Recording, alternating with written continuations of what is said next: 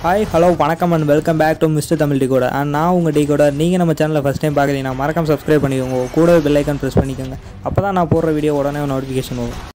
இன்றைக்கி நம்ம பார்க்க போகிற வீடியோ லோக்கி சீசனில் எபிசோட் டூ இந்த புதன்கிழமை லோக்கி சீசனோட எபிசோட் டூ ரிலீஸ் ஆயிடுச்சு அது இந்த எபிசோடில் நம்ம லோக்கியும் நம்ம மாபியோஸும் சேர்ந்து ரொம்ப நேரம் பேசிக்கிட்டே இருப்பாங்க. அதாவது பேசுகிறது தான் நிறையா இருக்கும். அவங்களுக்குள்ள ஒரு இன்ட்ராக்ஷன் கிரியேட் பண்ணுறதுக்காக இந்த எபிசோட விட்டுருக்காங்க. அண்ட் இந்த எபிசோட லாஸ்ட்டில் நம்ம ஃபீமேல் லோக்கி யாருங்கிறதை ரிவீல் பண்ணியிருக்காங்க போட்டு தாறு மரம் உடச்சிட்டாங்க. லோக்கி சீரிஸோட வில்லன் நம்ம ஃபீமேல் லோக்கி அந்த ஃபீமேல் லோக்கி யாருங்கிறத இது வரைக்கும் எந்த இடத்துலையும் ரிவீல் பண்ணலை. ஆனால் இந்த எபிசோட் டூவில் நம்ம ஃபீமேல் லோக்கி யாருங்கிறத ரிவீல் பண்ணி ஒரு ஹைப்பை கிரியேட் பண்ணியிருக்காங்க. அண்ட் இந்த எபிசோட full Tamil explanation and hit and detail and இதில் மறைஞ்சிருக்க ஈஸ்டர் எக்ஸ் எல்லாத்தையும் இந்த வீடியோவில் பார்க்கலாம் வாங்க. செகண்ட் எபிசோட ஸ்டார்டிங் சீனில் நம்ம ஃபர்ஸ்ட் எபிசோட ஒரு ரீகேப் அதில் என்னென்ன நடந்துச்சு அதெல்லாம் ஒரு ரீகேப் மாதிரி போடுறாங்க. கட் பண்ணால் நைன்டீன் எயிட்டி ஃபைவ்ல ஒரு வில்லேஜ் டவுனை காட்டுறாங்க. அங்கே ஒரு ஃபெஸ்டிவல் நடந்துட்டு இருக்கு. அங்கே டைம் டோரை திறந்துட்டு ஒரு மூணு மினிட்ஸ் மேன்ஸ் வராங்க. அங்கே வந்து ஒரு டென்ட்டை பார்த்து வேரியன்ட் டிடெக்டட் கமாண்டர் அப்படின்னு சொல்கிறாங்க அந்த டென்ட்டில் நம்ம ஃபீமேல் லோக்கி இருக்கிறத தெரிஞ்சுக்கிட்டு அங்கே போய் ஃபீமேல் லோக்கியை பிடிக்க போகிறாங்க அந்த டென்ட்டில் நம்ம ஃபீமேல் லோக்கி அங்கே வந்து மேனேஜ்மெண்ட்டில் ஒருத்தவளோட மைண்டை கண்ட்ரோல் பண்ணி இருக்க எல்லா மேனேஜ்மெண்ட்ஸையும் அவளை வச்சு அடிக்க வச்சுருவாங்க. ஃபீமேல் லோக்கி இப்படி மைண்ட் கண்ட்ரோலை பார்த்தா அவஞ்சிருச்சோம்ல நம்ம லோக்கியோட இன்ட்ரோவை டாக்டர் செல்விக்கையும் ஹேக்கையும் ஒரு கோலை வச்சு இப்படி தான் மைண்ட் கண்ட்ரோல் பண்ணுவார். அங்கேருந்து ஃபீமேலுக்கு அந்த டைம் டிஸ்சார்ஜர் அதாவது டைம் லைன்லேருந்து வேறு டைம் லைன் போகும்போது அந்த டைம் லைனை ரீசெட் பண்ணுறதுக்காக ஒரு டைம் டிஸ்சார்ஜர் டிவிஐ ஏஜென்ட்ஸ் கொண்டு வருவாங்க. அதாவது மினிட்ஸ்மேன் கொண்டு வருவாங்க. அந்த டைம் அந்த டைம் டிஸ்சார்ஜரை எடுத்துகிட்டு கூடவே ஒரு மினிட் மேனை மைண்ட் கண்ட்ரோல் பண்ணியிருப்பாங்க. அவளையும் ஹாஸ்டேஜாக கூட்டிகிட்டு டைம் டோர் ஓப்பன் பண்ணிவிட்டு ஃபீமேல் லோக்கி போயிடுவாங்க இங்கே லோக்கியோட இன்ட்ரோ போடுறாங்க. அதுக்கப்புறம் நம்ம லோக்கியை காட்டுறாங்க. லோக்கி டிவியில் ஒரு டெஸ்கில் உட்காந்துருக்காரு அதாவது இப்போ ஒரு ஃபுல் டிவி ஏஜென்ட்ஸாகவே மாறிட்டார். எபிசோட் ஒன்ல மிஸ் மினிட்ஸ் அந்த கேரக்டரை இன்ட்ரடியூஸ் பண்ணியிருப்பாங்க ஆஃப்கோர்ஸ் இது ஒரு ஆர்டிஃபிஷியல் இன்டெலிஜென்ஸ் நம்ம அயன்மேன் கிட்ட இருக்க ஜாவிஸ் மாதிரி டிவியை கிட்ட மிஸ் மினிட்ஸ் இருக்குது அந்த மிஸ் மினிட்ஸ் நம்ம லோக்கிட்ட ஒரு டிவியை பற்றி ஒரு சில கொஸ்டின்ஸ் கேட்டுட்ருக்கோம் அதுக்கு நம்ம லோக்கி ரொம்ப போர் அடிக்காத அப்படின்னு அதுக்கிட்ட விளாண்டுட்டு இருப்பார். அப்போதைக்கு நம்ம மாபிஸ் வந்து ஒரு அட்டாக் நடந்துட்டுருக்கு. அங்கே நம்ம போகணும் அப்படின்னு ஒரு ஜாக்கெட்டை கொடுப்பாரு. அந்த ஜாக்கெட்டை போடு உனக்கு நல்லா இருக்கு ஸ்மார்ட்டாக இருக்குன்னு அப்படின்னு சொல்லுவார். என்ன தான் மாபியஸ் நம்ம லோக்கி கிட்ட ஃபீமேல் லோக்கியை பிடிக்க ஹெல்ப் கேட்டாலும் லோக்கியை யாருமே நம்ப மாட்டாங்க. ஏன்னா நம்ம லோக்கி எப்போ என்ன வில்லத்தனம் பண்ணுவார் எப்போ எப்படி இருப்பார் அவரோட கேரக்டர் சேஞ்ச் பண்ணிகிட்டே இருப்பார். அதை யாருனால கெஸ் பண்ண முடியாத அளவுக்கு இருக்கும்.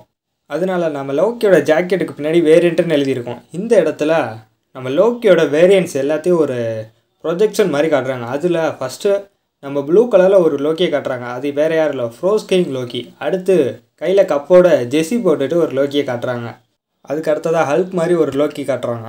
இதெல்லாம் நம்ம இப்போ இருக்க லோக்கி பார்த்துட்டு ஒரு வியந்து பார்ப்பாரு நானா இதெல்லாம் அப்படின்னு பார்ப்பாரு இதுக்கப்புறம் நைன்டீன் எயிட்டி ஃபைவ் அட்டாக் நடந்த இடத்த எல்லாம் போய் பார்ப்பாங்க. அந்த டென்ட்டில் நம்ம லோக்கி எல்லாத்தையும் பார்த்துட்டு இது ஒரு ட்ராப் இது ஒரு ஸ்கீம் நம்மளை இங்கே டென்ட்டுக்கு வர வைக்கணும் அப்படின்னு சொல்லுவார்.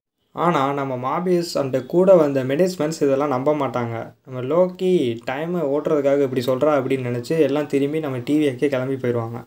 இங்கே நம்ம மாபியஸ் அண்ட் ராவணா அதாவது நம்ம ஃபஸ்ட் எபிசோடில் காட்டின ஜட்ஜ் அவங்க ரெண்டு பேரும் லோக்கியை பற்றி பேசிகிட்டு இருக்காங்க.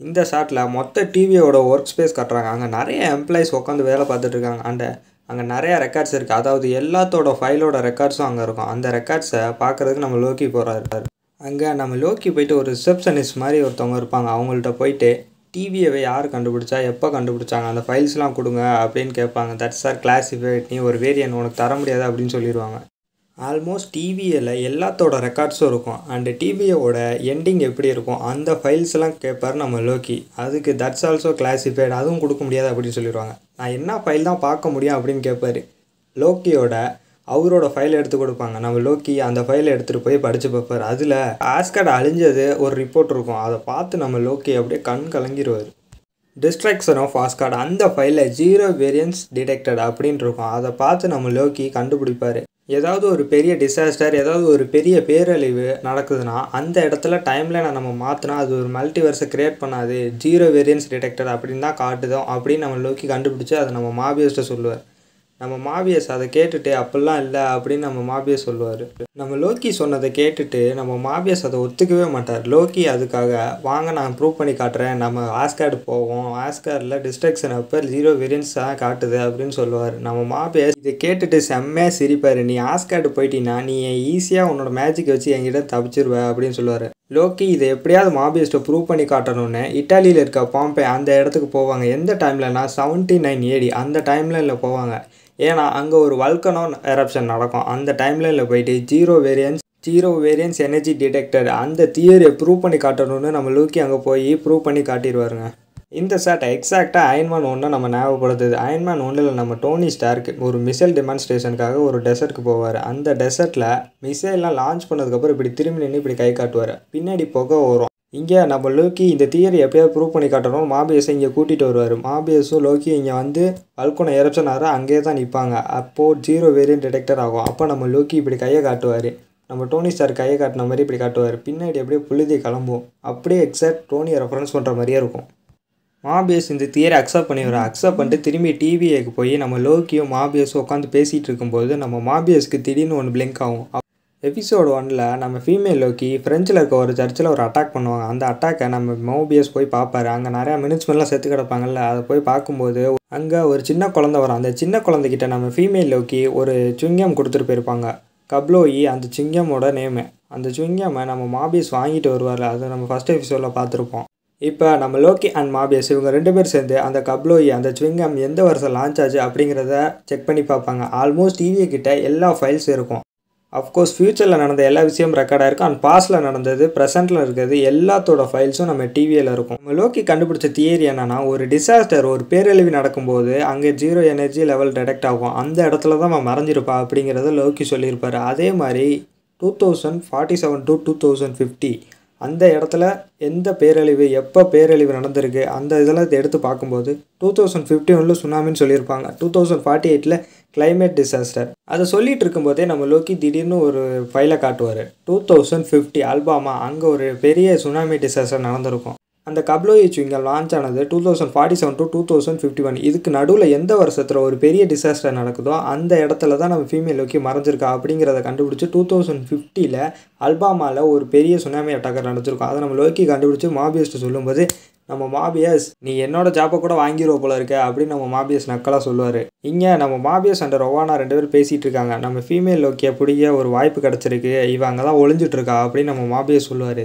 லோக்கி சொல்கிறதெல்லாம் நம்புறியா? இதெல்லாம் உண்மையாக இருக்குமா? அப்படின்னு அந்த ஜட்ஜி கேட்பாங்க. அதுக்கு நம்ம மாபியஸ் நான் நேர்லேயே இதெல்லாம் பார்த்துட்டேன். நான் லோக்கியை நம்புகிறேன் அப்படின்னு மாபியஸ் சொல்லுவார். அடுத்த ஷாட்டில் எல்லாம் நம்ம ஃபீமேல் லோக்கியை பிடிக்க கிளம்பிட்டு இருக்காங்க. அப்போ நம்ம லோக்கி மாபியஸ் எனக்கு ஏதாவது ஒரு வெப்பன் கொடுங்க அப்படின்னு கேட்குறாரு. நம்ம மாபியஸ் நம்ம லோக்கி கிட்ட ரெண்டு கத்தியை கொடுக்குறாங்க. நம்ம லோக்கி எப்போதும் ஒரு ரெண்டு கத்தி வச்சுருப்பார்ல அதே மாதிரி ஒரு ரெண்டு கத்தியை கொடுக்குறாங்க. அப்போது திடீர்னு நம்ம லோக்கி கிட்டேருந்து அந்த கத்தியை பிடுங்குற யாருன்னா நம்ம லோக்கியை ஃபஸ்ட்டு ஃபஸ்ட்டு ஒரு லேடி அரெஸ்ட் பண்ணாங்களே மினிட்மேன் அவங்க பிடுங்கி நீ ஒரு வேரியன்ட்டு உனக்கு வெப்பம்லாம் தர முடியாது உன்னை நாங்கள் நம்பவே இல்லை அப்படிங்கிற மாதிரி சொல்லிடுவாங்க அதில் two thousand fifty Alabama Haven Hills அந்த இடத்துக்கு போகிறாங்க அங்கே தான் ஒரு ராக்ஸ் கார்ட் அந்த ஒரு சூப்பர் மார்க்கெட் தான் ஒளிஞ்சிருக்கா அப்படிங்கிறத தெரிஞ்சுக்கிட்டு அங்கே போவாங்க. ஃபீமேல் லோக்கியே பிடிக்கும் உள்ளே போனதும் ரெண்டு டீமாக பிரிஞ்சு நம்ம ஃபீமேல் லோக்கியே தேடுறாங்க. ஃபஸ்ட்டு ஃபஸ்ட்டு நம்ம லோக்கி அரெஸ்ட் பண்ணாங்களா? அவங்க இவனை எப்போவுமே நம்ப மாட்டாங்க போல இருக்குது லோக்கி என் கூட தான் இருக்கணும் அப்படின்னு இவங்க கூட வச்சுருப்பாங்க. அங்கே ஒருத்தன் நின்றுட்டு இருப்பான். அவன்கிட்ட போய் கேட்பாங்க இங்கே என்ன பண்ணுற வெளியில் சுனாமி நடக்குது அப்படின்னு கேட்கும்போது அவன் வந்து பிளான்ஸ் வாங்க வந்தேன் அப்படின்னு சொல்லுவான். நம்ம லோக்கியும் அந்த கூட வந்த லேடியை டவுட் டவுட் படுவாங்க. அவனை அடிக்கிறதுக்காக அவன்கிட்ட போகும்போது அவன் திடீர்னு நம்ம லேடியை பிடிச்சிருவாங்க. அந்த மினிட் மேனை பிடிச்சிருவாங்க. பிடிச்சிட்டு அவன் கீழே மயக்கம் போட்டு விழுந்துருவான். அவன் அந்த மினிட் மேனை தொடும்போது கை ஃபுல்லாக அப்படியே க்ரீன் கலரில் இருக்கும். இப்போயே தெரியும் நம்ம ஃபீமேல் லோக்கி தான் இவனை மயக்கியிருப்பா அப்படின்னு. இந்த சைடு நம்ம மாபியஸ் டீம் ஒருத்தவளை கண்டுபிடிச்சிப்பாங்க. அவள் வேறு யாரும் இல்லைங்க. ஃபீமேல் லோக்கி ஃபஸ்ட் அட்டாக் நடக்கும்போது இந்த எபிசோடில் ஃபஸ்ட் அட்டாக் நடக்கும்போது ஒருத்தவளை கூட்டிகிட்டு போயிடுவாள் ஹாஸ்டேஜாக அவளை தான் கண்டுபிடிச்சிருப்பாங்க. இந்த சைடு லோக்கி அண்ட் அந்த லேடி நடந்து போயிட்டு இருக்கும்போது ஒரு பையன் வந்து அந்த லேடியை தொட்டுருவான். அந்த லேடி கீழே மயக்கம் போட்டு விழுந்துருவாங்க. நம்ம லோக்கி அவனை பார்த்து உனக்கு என்ன வேணும்? நான் டைம் கீப்பர்ஸ்டே பேசுகிறேன் அப்படின்லாம் சொல்லுவார் நம்ம லோக்கி. எனக்கு டைம் வேரியன்ஸ் அத்தாரிட்டியை ரூலிங் பண்ணுறேன் அதாவது ஆட்சி செய்ய எனக்கு ஆசை இல்லை அப்படின்னு சொல்லிடுவான் இங்கே நம்ம லேடி மினிட்மெண்ட் மயக்கமெல்லாம் தெளிஞ்சு எழுந்து வராங்க.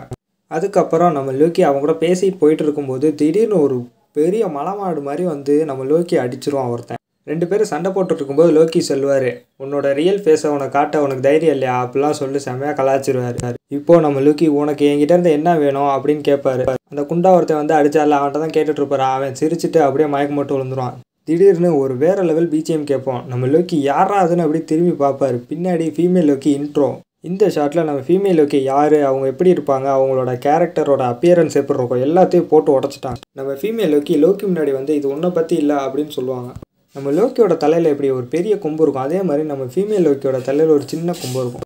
இது வரைக்கும் நம்ம ஃபீமேல் லோக்கி அட்டாக் பண்ணி நம்ம மென்ஸ்மென்ஸ் கிட்ட இருக்க டைம் டிஸ்சார்ஜ் எல்லாம் எடுத்தாங்களா? அந்த டைம் டிஸ்சார்ஜ் எல்லாம் வச்சு ஒரு பெரிய மல்டிவர்ஸை கிரியேட் பண்ணுறது தான் அவங்களோட பிளான் அவங்க பிளான் பண்ண மாதிரியே அந்த டைம் டிஸ்சார்ஜில் வேறு வேறு கிரகத்துக்கெல்லாம் அனுப்பிடுவாங்க. ஸோ இப்போ ஒரு பெரிய மல்டிவர்ஸ் கிரியேட் ஆயிடுச்சு ஸோ இந்த ஷாட்டில் டிவியை கட்டுறாங்க. அங்கே நம்ம டிவியோட ஏஜென்ட்ஸ் அண்ட் அந்த ஜட்ஜ் மொதல் கொண்டு மல்டிவர்ஸ் கிரியேட் ஆனதை பார்த்துட்டு அட யாரா அந்த வேலையை பார்த்தது? டைம்லைனில் ரீசெட் பண்ணணும் அப்படின்னு எல்லாம் அந்த ஜட்ஜ் மொதல் கொண்டு டைம்லைனில் ரீசெட் பண்ண ஒவ்வொரு டைம்லைனுக்கு போவாங்க. டிவியில் இருக்க ஒரு ஸ்க்ரீனில் எந்தெந்த இடத்துல டைம்லைன் பிரீச் ஆயிருக்கு அப்படின்னு காட்டும். அங்கே நிறைய இடத்த காட்டும். அதில் முக்கியமான இடம் தான் New York வார்மேர் Oscar Sarkar ego Titan ஹாலா எக்ஸாண்டர். ஹாலா இது எங்கே கேள்விப்பட்ட மாதிரி இருக்கே? இது வந்து கேப்டன் மார்வலோட கிரகம். நம்ம ஃபீமேல் லோக்கி லோக்கி டாட்டா காட்டி டைம் டோர் ஓப்பன் பண்ணிட்டு போயிடுவாங்க அந்த சைடு நம்ம மாபியஸ் அண்டு அந்த லேடி மினிட்மேன் அவங்க ரெண்டு பேரும் லோக்கியை பிடிக்கிறதுக்காக ஓடி வருவாங்க. லோக்கி இவங்கள்ட்ட இருந்து எப்படியா தப்பிக்கணும்னு நினச்சி இந்த இடத்துல ஒரு வில்லத்தனை பண்ணி அந்த ஃபீமேல் லோக்கியோட அந்த டைம் டோருக்குள்ளே போயிடுவார். இதோட second episode climax over and இந்த வீடியோ உங்களுக்கு பிடிச்சிருந்தா மறக்காமல் லைக் பண்ணுங்கள் சப்ஸ்கிரைப் பண்ணுங்கள் கூடவே பெல் ஐக்கன் ப்ரெஸ் பண்ணிக்க. அப்போ தான் நான் போடுற வீடியோ உடனே நோட்டிஃபிகேஷன் வரும்.